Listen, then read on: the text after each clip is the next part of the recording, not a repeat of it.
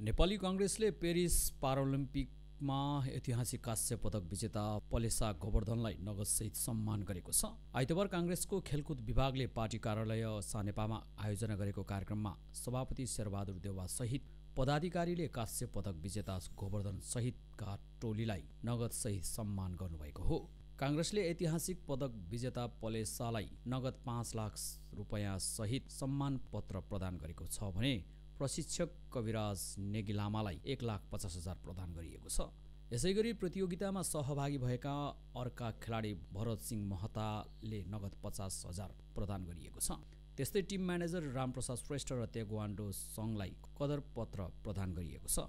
सम्मान कार्यक्रमलाई सम्बोधन गर्दै सभापति देउवाले पलेसाको पदकले सबै नेपाली खुसी भएको भन्दै उज्जवल भविष्यको कामना गर्नुभयो। पारालिम्पिकमा प्राप्त भएको काश्य पदकले पनि अन्तर्राष्ट्रिय जगतमा इज्जत बढेको बताउँदै सभापति देउवाले भोलिका दिनमा नेपाली खेलाडीलाई राम्रो गर्ने हौसला प्रदान भएको पनि धारणा राख्नुभयो। यस्तै खेलकुद मन्त्री तेजुलाल चौधरीले खेलाडीलाई स्वदेशमा टिकाउन र आत्मनिर्भर बनाउनका लागि सरकार गम्भीर रहेको बताउनुभयो। उहाँले खेल क्षेत्रमा रहेका व्यक्तिहरूको परिवार समेत मध्यनजर गरी उनीहरूको रोजगारको उपयुक्त व्यवस्था हुनुपर्नेमा जोड दिनुभयो। पलेसाले पारा पारालम्पिकमा के चौवालिस वर्ग अन्तर्गत महिला सन्ताउन्न तौल समूहको प्रतिस्पर्धामा सर्बियाकी मारिजा मिचेवलाई पन्ध्र आठले पराजित गर्दै काश्य जित्नु भएको थियो। पारालम्पिकमा पदक जित्ने पलेसा पहिलो नेपाली खेलाडी समेत बन्नुभएको छ।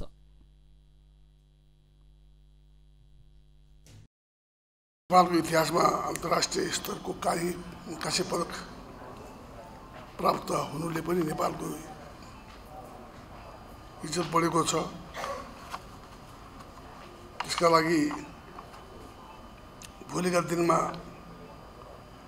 नेपाली खेलाडीहरू अझ बढी प्रोत्साहित हुन्। अझ बढी तपाईँले सफलता प्राप्त गरोस् भन्ने हार्दिक कामना गर्न चाहन्छु। खेलकुद क्षेत्रको विकास सम्बन्धका लागि नेपाली काङ्ग्रेस सदैव प्राथमिकताका साथ सहयोग गरिरहेको छ आगामी दिनमा पनि अझ सशक्त ढङ्गले अघि बढ्ने प्रतिबद्धता व्यक्त गर्न चाहन्छु। खेलाडीहरू देशका गहना हुन्। नेपाललाई विश्वभरि चिनाउने कडीको रूपमा खेलकुद क्षेत्रलाई लिनुपर्छ भन्ने मेरो मान्यता रहेको छ।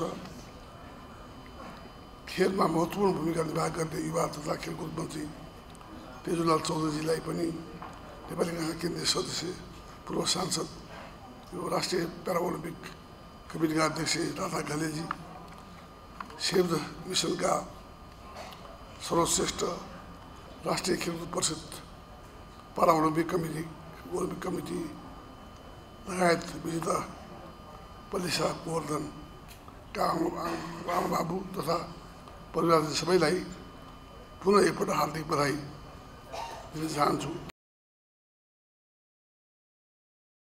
एउटा नेपालको शिर ठाडो राख्न र साहसिलो कदम अगाडि बढेको हुनाले त्यसमा हाम्रो धेरै खेलाडीहरू अगाडि बढ्न सक्छ। सबभन्दा खेलाडीहरूको उहाँको छोराछोरीहरूको शिक्षा राम्रो शिक्षा दीक्षा हुन सकेन भने प्लान हुन स्वाभाविक हो। राम्रो स्कुलमा उहाँको छोराछोरी भर्ना हुन पाउँदैन। त्यस कारणले प्याप्सन र एन प्याप्सन र हिसानको साथीहरूसित व्यापक अगाडि बढाइराखेको छु। त्यसपछि उहाँहरूको रोजगारी। अहिलेसम्म हामीले देखा थियौँ अर्को व्यवस्थामा खेलाडीहरूलाई रोजगारी दिएको धेरै उदाहरणहरू थियो तर गणतन्त्र आइसकेपछि आर्मी पुलिस र सशक्त बाहेक कसैले रोजगारी दिन सकेको छैन।